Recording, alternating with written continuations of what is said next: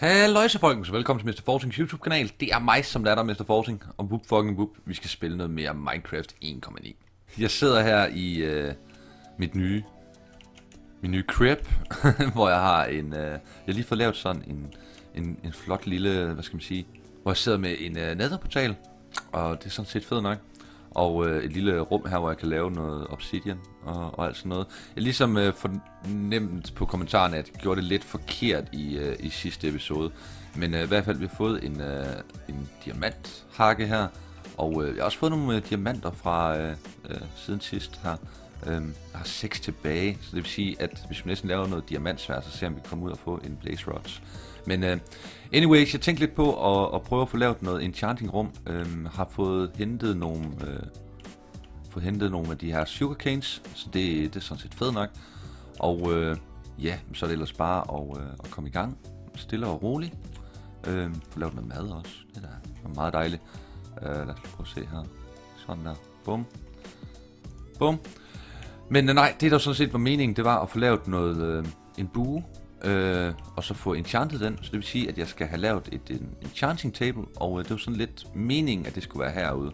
Og øh, imens så havde jeg faktisk også tænkt mig lidt at lave noget obsidian, sådan så jeg laver alle væggene obsidian herinde. Det kunne være, det kunne sådan set være med, mega fedt. Øh, min mobspawner, den er, øh, den er ikke så vild, som jeg havde gået og håbet, men øh, jeg håber på, at ligesom jeg får clearet de her dungeons rundt omkring og får lyst dem op, så burde den altså kunne øh, spawne en øh, masse derop.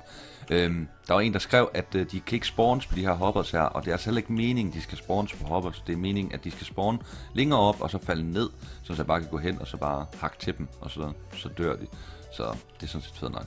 Ellers så var det måske en meget smart idé, hvis det var, at man kunne... Sådan, at de spawner her faktisk. Men så skal man også bare stå og hakke på dem i lang tid. Men uh, anyways, jeg er ned og hente noget lava, og uh, så vil jeg uh, til at komme i gang med, med dagens gode gerning. Så den der, jeg fandt lige en vandkilde til det. Jeg har simpelthen ladet vandet køre herhen, og så har jeg fået lidt, uh, lidt obsidian allerede ved at være hernede, og så har vi jo lidt til at kunne, uh, kunne hygge med, når vi kommer op i basen igen. Fordi jeg skal jo, jeg skal jo bruge en del, jeg skal bruge en, en fire stykker for at lave sådan en enchantment table, og tænke på, at det kunne da, kunne i hvert fald starte med at bygge noget, sådan et table der, det kunne da være meget rart, og nu har jeg jo allerede fire stykker og kan nok godt blive ved med at bygge dem stille og roligt, tænker jeg. Der var i hvert fald en der. Øh, kan vi gøre andet her også? Der måske. Sådan der.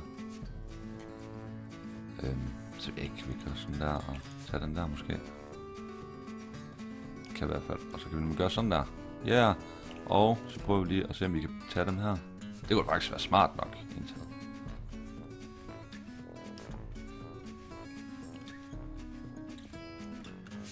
Men i hvert fald, anyways, vi har fem stykker nu. Det må være, det må være nok obsidian øh, og, og farm hernede. Jeg tror, det er lidt nemmere at gøre deroppe af. Men ellers det, så har jeg fået øh, syv guld års, fandt jeg. Så det er sådan set fedt nok. Og så kommer lige noget mere vand. Ja, super. Det gider jeg ikke lige at lege med lige nu. Det magter jeg ikke lige. ellers så tror jeg bare, at vi prøver at, at fortsætte stille og roligt. Øhm, og øh, ja, så må vi se, om vi kan få nogle, øh, finde nogle øh, lækre ting. Og det jeg så lige fandt ud af, det var, at jeg simpelthen er, og jeg var simpelthen at finde i en, øh, en 1.8 version på min singleplayer. Jeg håber ikke, virkelig ikke, det har fucket noget op. Men øh, det ser ud til, at den øh, tager, hvorfra jeg kom fra. Øh, burde næsten også have set det, der havde sådan like fit, øh, faithful på. Men øh, nej, det ser ud til, at det ser rigtig nok ud. Og derfor så fortsætter vi bare, som om intet det var sket. Bum, og jeg skal virkelig også have lavet noget kisterum af en eller anden art, men øh, der er på det, hvor skal jeg bygge det hen? Men i hvert fald, til at starte med, så kan vi da lige bygge sådan en der, og øh, gå ud og hente noget vand. Øh, ja. Sådan der. Bum, lum. Ja, så skulle være, det skulle være vand, jeg skulle putte i, og så tage det bagefter måske. Det er måske en god idé. Lad os lige prøve det. Sådan der. Bum, og så simpelthen gør det omvendt. Så vi gør sådan her. Og så gør vi sådan her.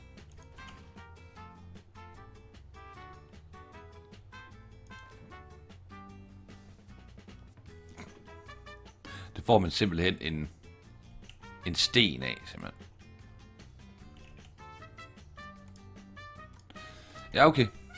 Okay, det får man bare, det får man bare utrolig mange sten ud af at gøre det på den måde. Så det ser ud til, at, at jeg havde nok fat i noget med at, at skulle lægge lava hernede, og så lade vandet gøre arbejdet simpelthen. Det tror jeg, vi bliver, bliver nødt til at prøve at gøre sådan der. Bum.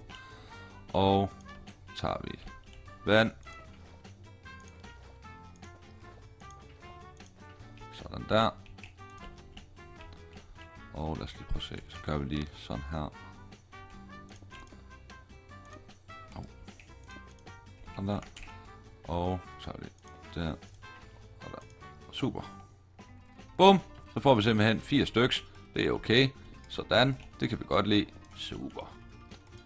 Sådan der, vi har fået en øh, masse af det her, sådan, øh, af det her sådan, øh, obsidian. Jeg har 12 lige nu, men øh, det er jo langt fra nok af, hvad, hvad jeg skal bruge.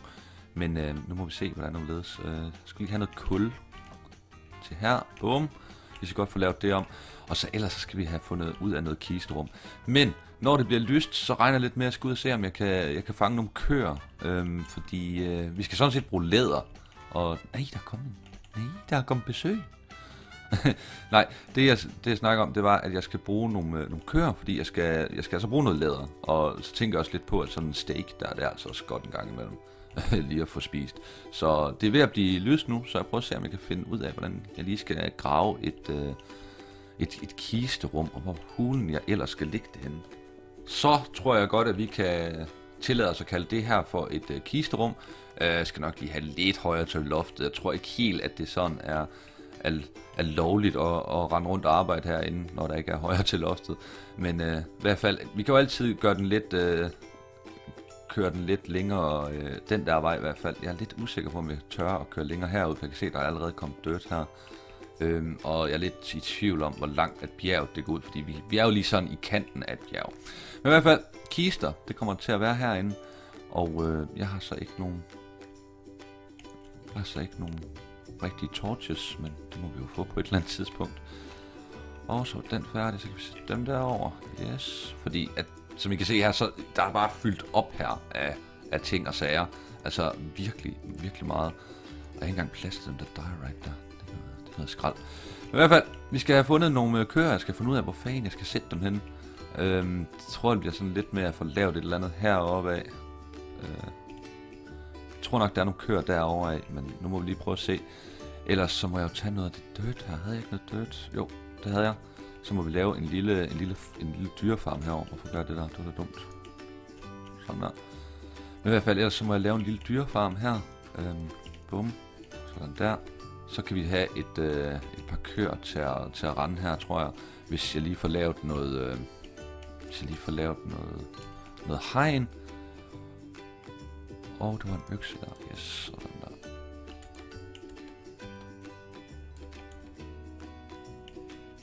kan ikke rigtig høre nogen monstre herinde endnu. Det, det skræmmer mig lidt, det gør det. Det skal der være ærlig indrømme. Bum, så er der simpelthen lavet et øh, masse hegn her. Der er lavet en øh, fence gate, og øh, så er vi sådan set klar til at kunne, øh, kunne lukke nogle, nogle køer stille og roligt herind. Uh, jeg tror, vi skal have fence gaten her faktisk, for at være helt ærlig. Sådan der, og en fence gate. Ja tak, sådan der, så kan man gå ud her. Og når jeg får køerne, så kan jeg faktisk bare hoppe over her og så ind. Det bliver, det er skismart. Så derfor, så må vi øh, have fat i noget hvede. Bum, bum, bum, bum. Sådan der, og så havde vi så ikke nok til lige at plante igen. Det var, var da meget fedt. Sådan der. Der var kun én. Yes, super. Og vi har vores hvede der. Sådan der. Bum. Så er det på eventyr efterkører. Og der er grise. Please sige, der kører faktisk mange får her. Og der er mange grise. Jeg ved ikke om køer, om de er at finde derovre så eventuelt. Det skulle man da næsten tro. Uh, der er en derovre i hvert fald, men der er godt nok også langt derovre. Der er langt hjem i hvert fald, kan man sige, så jeg er lidt spændt på, om vi, øh, om vi kan få dem øh, lukket hele vejen. Puh, ja. Det bliver, det bliver spændende og se om de har luret mig nu. Se, den der, den er der på vej sådan lidt halv meget. Jeg tror, den har luret, at jeg kommer med hvede. Nej, det havde den ikke alligevel. Men det har den så nu i hvert fald. Kan vi se. Så nu skal vi bare have sørget for, at de kommer med mig. Kom. Det var der er nogen herinde, der er nemmere at få fat på. Der er i hvert fald en her. Sådan der. Så vil du være min lille ko. Kom. Kom, lille ko. Hallo. Kom, lille ko. Ad I ikke gider at følge med? Følg med mig nu. Ja, der er to der. Super. Kom. Kom. Ja, der er mere, hvor det kommer fra. Det kan jeg godt sige. Jeg skal ikke falde derned, ligesom mig, vel? Jeg det godt. Jeg har to. Jeg skal bare den her vej. Og det er bare så vigtigt, at vi får to med. Det er helt ondt. Jeg skal have noget spise. Det har jeg ikke, eller hvad? Nej, der har jeg så med, ikke? Kom nu. Hallo? Og derfor... der. Hallo? Dør jeg helt nu, eller hvad? Hvad satan. Se det, de prøver virkelig på at, at fange åkenderne her. Det er altså okay fedt. Kom nu. Ja, du skal den her vej. Yes, kom. Nå, du skal ikke sidde fast. Du skal komme her. Yes, det var godt. Kom så. Ja, jeg ved godt, det ikke går så stærkt. Og vi skal gøre sådan her. Så kan I da følge med. Kom nu. Nej. Hold nu op. Jeg skulle bare lige lægge noget vand til jer, eller lægge noget vej til jer. Kom nu. Kom nu. Yes. Kom nu med. Kom nu med. Jækker sig, jækker sig, jækker sig. Jeg er altså meget sulten, så jeg vil gerne hjem. Gider I godt skynde jer? Og whoopty. Sådan der, så er I altså også fortjent den. Det skal I have. Sådan der. Jeg smutter lige lidt væk. Der, bum. Og så har vi allerede en lille kald, men det tog da næsten også en hel dags uh, Minecraft, en hel Minecraft-dags arbejde at få hentet dem her til. Og jeg tror, vi venter med at høste dem der, for jeg har ikke så meget plads inde i min kiste. Jeg skal altså huske at lukke døren. Sådan der, vi har tre stykker her. Jeg tror lige, vi laver noget brød lige hurtigt. Og spiser sådan der. Lækkert. Bummelum. Men nu er vi ligesom, øh, nu er vi ligesom i gang. Altså, vi har, vi har plast, eller vi har, vi har materiale til at lave papir. Vi har materiale til at lave læder til bøger. Vi har en okay del af obsidian. Vi har en nederportal.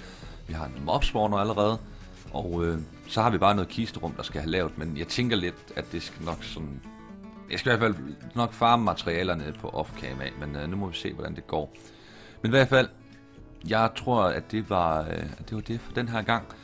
Jeg ved ikke helt, hvad vi skal prøve at give os i gang med næste gang. Jeg tror, det bliver med at få lavet den her enchantment table, fordi øh, vi har ligesom materialerne til det efterhånden. Jeg skal bare lige have, have, have afledt nogle flere af de her køer her, og have, jamen, også lige have høstet dem der måske. Måske sætte nogle flere op. Det ved jeg ikke. De er i hvert fald rart nok at have sådan nogle sugar canes. Men i hvert fald, jeg vil sige tusind tak, fordi du gad se med. Jeg håber, at du ser med næste gang. Indtil næste gang, folkens. Hej hej.